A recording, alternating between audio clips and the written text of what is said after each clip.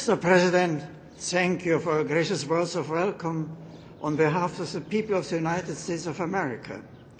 I deeply appreciate your invitation to visit this great country. My visit coincides with an important moment in the life of the Catholic community in America, the celebration of the, of the 200th anniversary of the elevation of the country's first diocese, Baltimore, to a metropolitan archdiocese and the establishment of the sees of New York, Boston, Philadelphia, and Louisville. Yet I am happy to be here as a guest of all Americans. I come as a friend, a preacher of the gospel, and one with great respect for this vast pluralistic society. America's Catholics have made and continue to make an excellent contribution to the life of their country. As I begin my visit, I trust that my presence will be a source of renewal and hope for the Church in the United States and strengthens the resolve of Catholics to contribute even more responsibly to the life of this nation, of which they are proud to be citizens. From the dawn of the Republic, America's quest for freedom has been guided by the conviction that the principles governing political and social life are intimately linked to a moral order based on the dominion of God the Creator. The framers of this nation's founding documents drew upon this conviction when they proclaimed the self evident truth that all men are created equal and endowed with inalienable rights grounded in the laws of nature and of nature's God. The course of American history demonstrates the difficulties, the struggles, and the great intellectual and moral resolve which were demanded to shape a society which faithfully embodied these noble principles. In that process, which forged the soul of the nation, religious beliefs were a constant inspiration and driving force, as for example in the struggle against slavery and in the civil rights movement. In our time too, particularly in moments of crisis, Americans continue to find their strength in a commitment to this patrimony of shared ideals and aspirations. In the next few days, I look forward to a meeting not only with America's Catholic community, but with other Christian communities and representatives of the many religious traditions present in this country. Historically, not only Catholics, but all believers have found here the freedom to worship God in accordance with the dictates of their conscience, while at the same time being accepted as part of a commonwealth in which each individual and group can make its voice heard. As a nation faces increasingly complex political and ethical issues of our time, I am confident that the American people will find in their religious beliefs a precious source of insight and an inspiration to pursue reasoned, responsible, and respectful dialogue in the effort to build a more human and free society. Freedom is not only a gift, but also summons to personal responsibility. Americans know this from experience. Almost every town in this country has its monuments honoring those who sacrificed their lives in defense of freedom, both at home and abroad. The preservation of freedom calls for the cultivation of virtue, self discipline, sacrifice for the common good, and a sense of responsibility towards the less fortunate. It also demands the courage to engage in civic life and to bring one's deepest beliefs and values to recent public debate.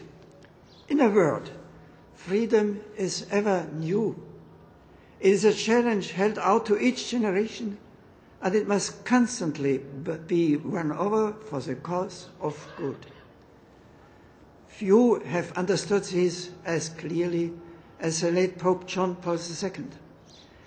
In reflecting on the spiritual victory of freedom over totalitarianism in his native Poland and in Eastern Europe, he reminded us that history shows time and again, I quote, that in a world without truth, freedom loses its foundation.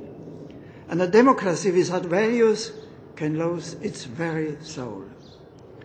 These prophetic words, in some sense, echo the conviction of President Washington, expressed in his farewell address, that religion and morality represent indispensable supports of political prosperity. The Church, for her part, wishes to contribute to building a world even more worthy of the human person, created in the image and likeness of God. She is convinced that faith sheds new light on all things, and that the gospel reveals the noble vocation, sublime destiny of every man and woman. Faith also gives us the strength to respond to our high calling and the hope that inspires us to work for an ever more just and fraternal society. Democracy can only flourish, as your founding fathers realized, when political leaders and those whom they represent are guided by truth and bring the wisdom born of firm moral principle to decisions affecting the life and future of the nation. For well over a century, the United States of America has played an important role in the international community. On Friday, God willing, I will have the honor to address the United Nations Organization, where I hope to encourage the efforts, efforts underway to make the institution an even more effective voice for the legitimate aspirations of all the world's peoples.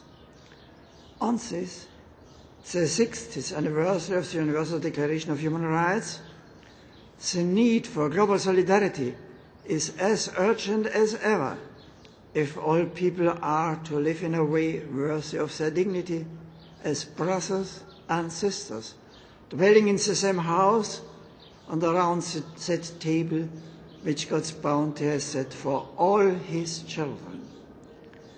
America has traditionally shown herself generous in meeting immediate human needs, fostering development, and offering relief to the victims of natural catastrophes. I am confident that this concern for the greater human family will continue to find expression support for the patient efforts of international diplomacy to resolve conflicts and promote progress.